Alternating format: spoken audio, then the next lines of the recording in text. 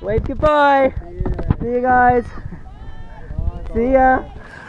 it's the morning of day 67. We're paddling towards Natchez right now.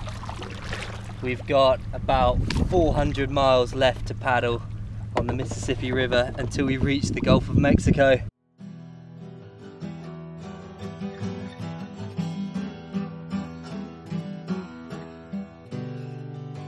We found the end of the rainbow! I don't know if the camera can see it, but that is where the pot of gold is.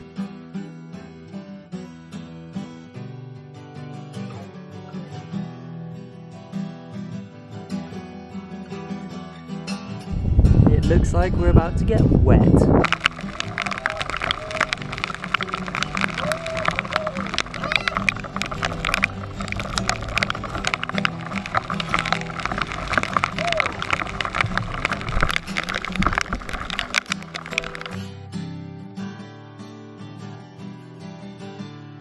We're just paddling into Natchez and thank the Lord because this storm is coming right up the river.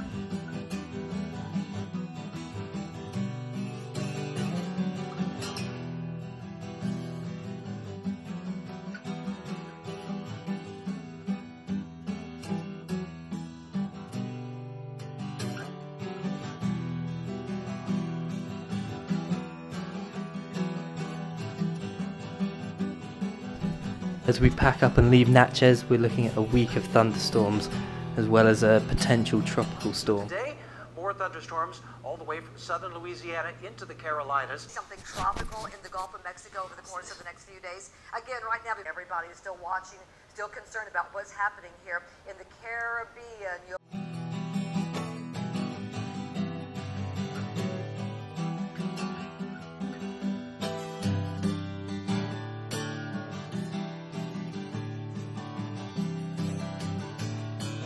We hope you enjoy these treats from your friends in St. Francisville. oh my god! What's in it? Oh, What's it got? Oh, there's beer! oh my goodness. We've got a treasure chest. banana pudding. What? Whoop, whoop, beers.